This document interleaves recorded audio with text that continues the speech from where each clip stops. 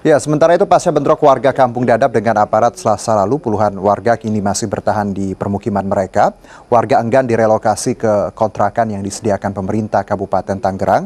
Sementara Pemkap Tangerang tetap bersikuku akan meratakan Kampung Dadap apa pun alasan para penghuninya.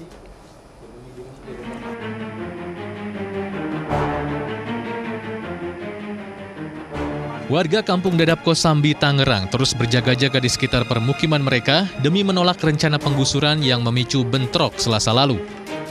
Warga pun menolak rencana Bupati Tangerang yang menjanjikan rumah kontrakan sebagai lokasi baru permukiman mereka.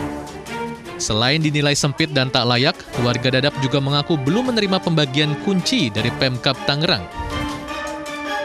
Ternyata satupun masyarakat kami tidak ada yang menerima kunci dari kontrakan dan kami tidak butuh kontrakan ya kan yang disiapkan oleh Pemda Bupati Tangerang dan kami tidak butuh rumah susun.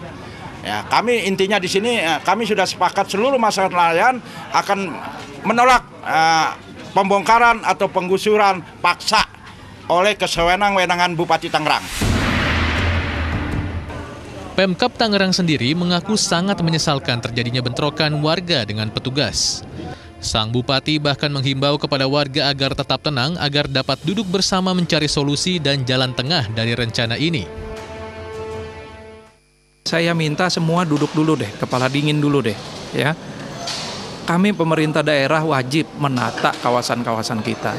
Dan ini bukan cuma dadap yang kita tata kawasannya. Besok pun saya akan menata kawasan kumuh padat miskin pedesaan di Mau dengan peletakan batu pertama eh, rumah layak huni.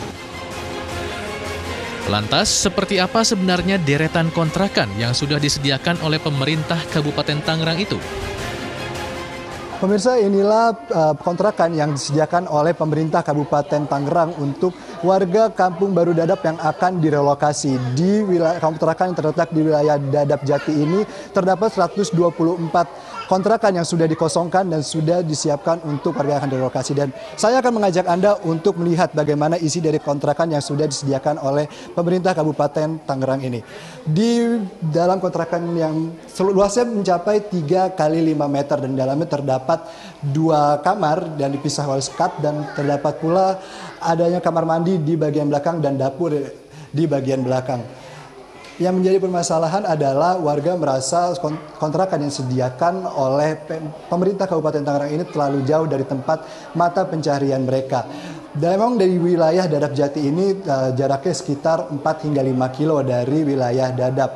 Di mana dulunya warga dan mungkin hingga sekarang pemirsa warga Dadap Baru mencari nafkah sebagai nelayan di wilayah pantai utara di wilayah Tangerang ini. Dan pemirsa nah, yang diberatkan oleh warga juga dari informasi warga adalah ditariknya pungutan biaya dari kontrakan ini sehingga warga merasa berhati untuk pindah ke wilayah kontrakan yang disediakan oleh pemerintah Kabupaten Tangerang.